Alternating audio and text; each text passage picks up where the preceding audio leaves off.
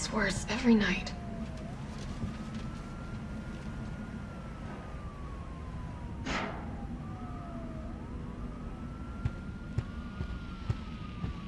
What's going on out there?